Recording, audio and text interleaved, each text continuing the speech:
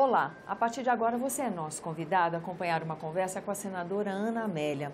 E o nosso tema é uma análise do nosso país e do momento político. Afinal de contas, a senadora Ana Amélia acaba de voltar de um trabalho intenso, um trabalho de campanha, fazendo é, compondo chapa com Geraldo Alckmin a vice-presidência da República. Então, eu imagino que a senhora tem para contar para nós muita coisa interessante sobre o que viu do país, o que viu do eleitor nesse momento político e o que vê com essa renovação do Senado, essas eleições para o Congresso. Senadora, muito grata pela sua presença aqui conosco. Tânia, muito obrigada pela gentileza. Eu é, disse que foi a decisão mais difícil da minha vida ter aberto mão de um mandato de oito anos na reeleição, eu estou no primeiro mandato, encerrando em janeiro, é, com um resultado é, bem favorável, embora a eleição não tenha nenhuma segurança que você vai vencer. Veja Sim. o que aconteceu nessa eleição de 2018. Verdade. É, contrariando as, a todas as pesquisas, todas as pesquisas foram,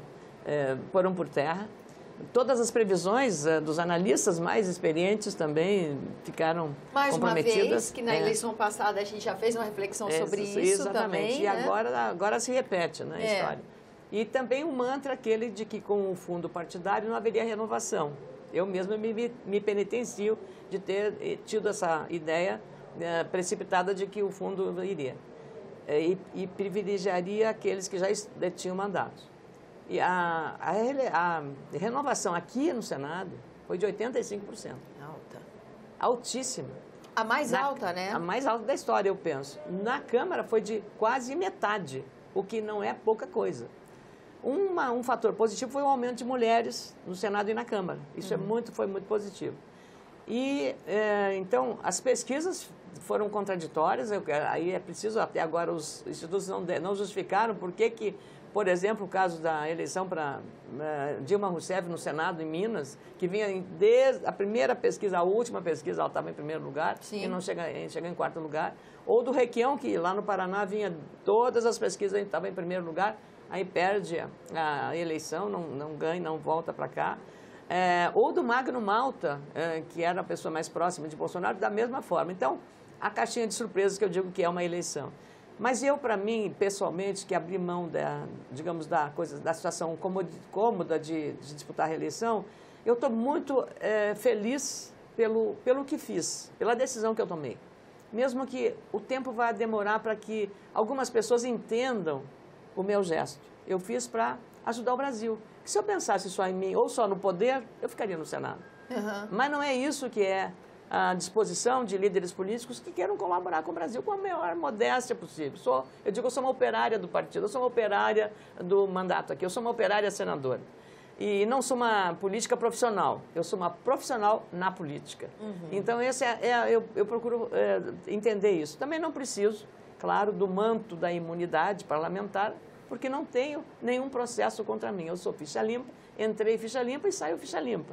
Então, essa, e tenho vida limpa. Então, essa situação me deixa muito confortável também em relação à minha vida e a dispensar um mandato, mesmo honroso, por representar o Rio Grande do Sul, para aqui estar representando os interesses do meu Estado e do Brasil, em alguma medida, como foi o caso do impeachment de Dilma Rousseff, que eu tive uma atuação bastante marcada. Então, onde eu fui? o, o, o grande aspecto que eu, nessa, nesse conhecimento desse Brasil mais profundo, que eu andei, andei pelo interior do, de Goiás. Já e, é de andar. E, é, já, já é de visitar os outros estados. Como jornalista, né, né Tânia? Você é. sabe, na nossa Comissão de Agricultura, é. quantas vezes a gente foi. Mas agora eu fui naquele Brasil, eu fui para Itumbiara, no, em Goiás, no sul de Goiás, é, no Cerrado é, Goiano Mineiro, que é, é, ali na divisa com Minas.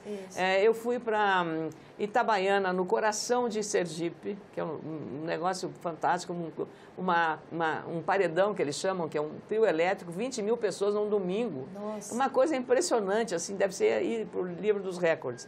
Ou uh, fui a Horizonte, no interior do Ceará, Itapipoca, no interior do Ceará, Calcaia, no Ceará, Fortaleza, no Ceará. Fui a Maceió também, em Alagoas.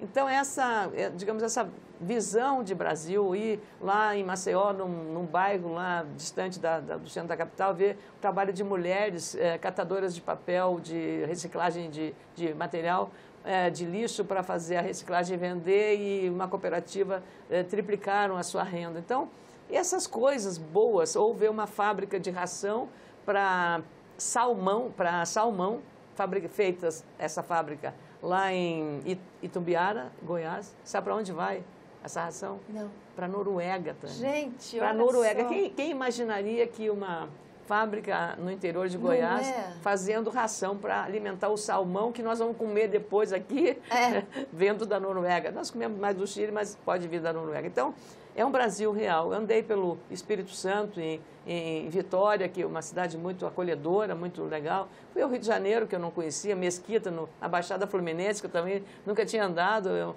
a Feira de São Cristóvão, que é o Nordeste no Rio de né? Janeiro. É. É, e conhecer uma, um estado que eu fiquei assim muito impressionado, que é o estado de São Paulo. São Paulo é um outro país. Eu acho que seria bom que os brasileiros conhecessem mais São Paulo em matéria de desenvolvimento social e econômico, em matéria das infraestruturas, as estradas de São Paulo são inacreditáveis. Você pensa que está na Europa ou nos Estados Unidos. E olha que eu andei, andei por várias regiões e, e verificar que é um estado em que o profissionalismo é, ele não abre mão para amadorismo. É um estado de profissionais. As pessoas são do tudo que faz, desde o engraxate que engraça o sapato não ali, até o engenheiro mais alto, até o oncologista do, do Einstein ou do Sírio Libanês ou do ICESP lá em São Paulo ou das outras instituições. Então tudo é de excelência. Então uma economia que eh, roda e mais o que me chamou a atenção em São Paulo, porque andava muito na capital também a educação dos motoristas de São Paulo. Uhum. Nós que somos de Brasília, que precisamos fazer assim para atravessar a rua, antes não precisava, mas tivemos que introduzir esse gesto, é um trânsito violento na nossa cidade. É. As pessoas abusam do excesso de velocidade, as pessoas não respeitam a sinalização, as pessoas dirigem, às vezes, sob efeito de drogas ou embriagados. Lá em São Paulo, claro que, como é muito carro, não adianta você querer ultrapassar. Não vi nenhum acidente nas é, vias. É impressionante. Fui mesmo. ao Rio de Janeiro, e num só trajeto.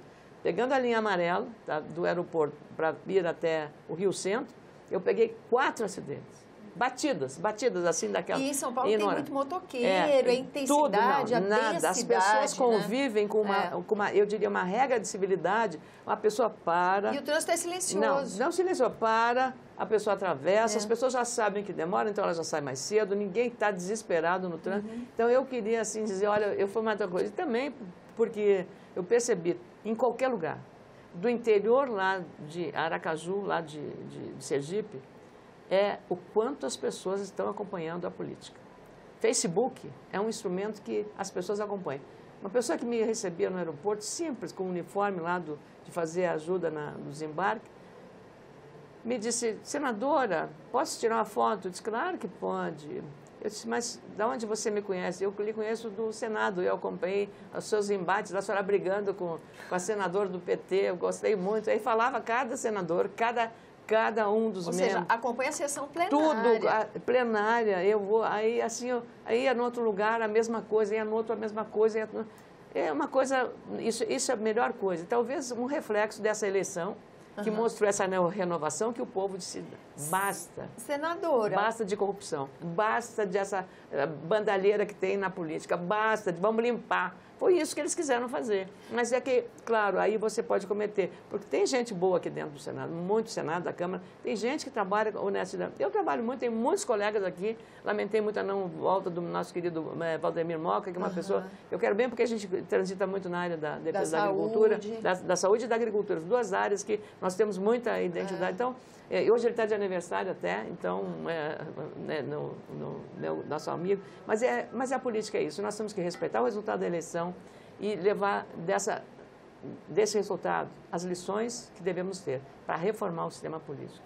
Não dá para ficar do jeito que está. Então, eu vou fazer o seguinte, eu vou encerrar essa entrevista chamando para uma próxima para a gente fazer a análise desse, desse recorte Vamos. Inclusive, porque tem uma pergunta também para a senhora, a questão da comunicação social, o que é o trabalho das Facebook, redes. Facebook, é, das redes sociais não é? na eleição. Vamos conversar sobre isso, então vamos marcar uma e segunda. fake news. Fake news, está marcado. marcado. A gente encerra uma pensando já em abrir a outra e agradecendo a você pela atenção, agradecendo a senadora, Obrigada. né, senadora?